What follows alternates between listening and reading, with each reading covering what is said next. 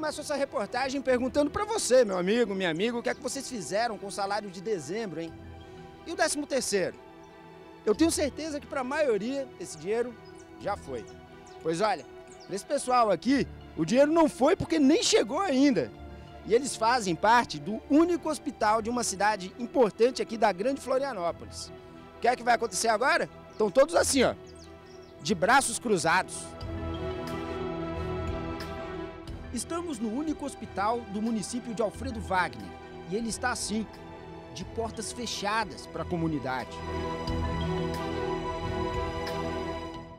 Os trabalhadores estão em greve desde o dia 2 de janeiro.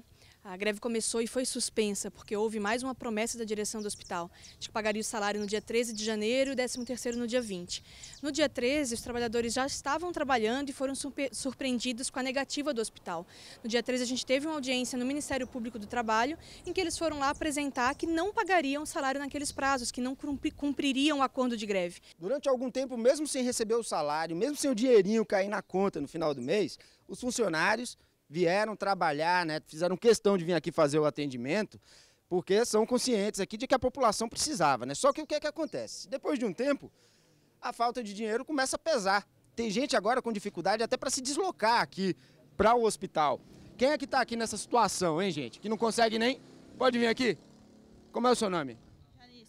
Janice, não dá mais nem para pagar agora para vir. Você está pagando para trabalhar praticamente? Eu estou pagando para trabalhar. Eu moro 20 quilômetros daqui, moro em outro município e não tem condições de vir mais. Não estou recebendo faz dois meses e não tem como vir trabalhar.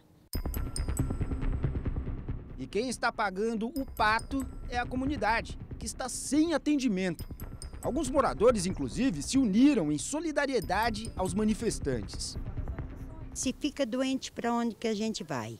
E os funcionários sempre apoiaram, assim, sempre atenderam muito bem a gente. A gente é bem atendida nesse hospital.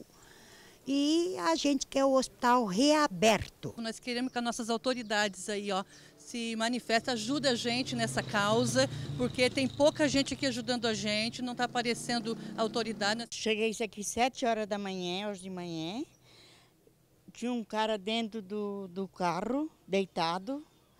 Daí eu fui perguntei para ele o que que estava vendo. Ele disse que ele estava passando mal, que ele estava precisando de médico e ele chegou aqui estava com as faixas tudo fechado.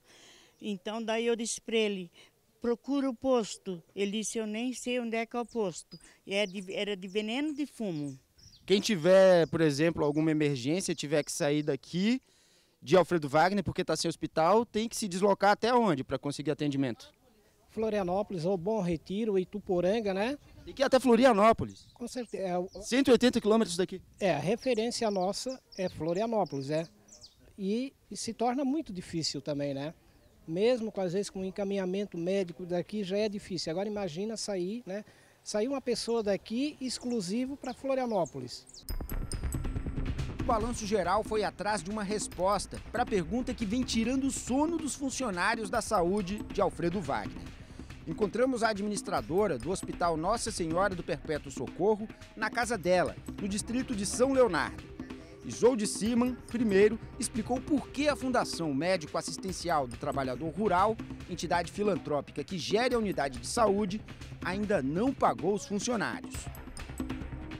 Já há três meses nós somos, temos que dar uma nota que antes não exigia e já começou a atrasar os dias de pagamento de salário.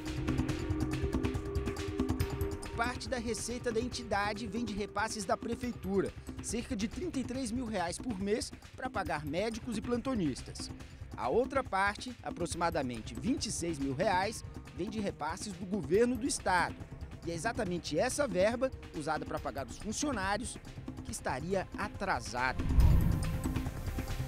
O Estado voltou a trabalhar dia 9 e entrando em contato com as pessoas que fazem essa tramitação do pagamento, eles disseram que provavelmente só sai dia 25, uhum. porque eles estiveram parados no início do mês, então até que ajusta todas as contas de, de todo o estado, eles vão fazer o repasse para dia 25 de janeiro. Mas afinal, quando os 17 funcionários do único hospital de Alfredo Wagner vão ver a cor desse dinheiro? Caiu na conta, no mesmo dia a gente faz o repasse. É daqui que a gente tira o nosso sustento. Né? Hoje eu vim aqui, a minha, meu carro, não sei se eu vou ter condições de chegar em casa.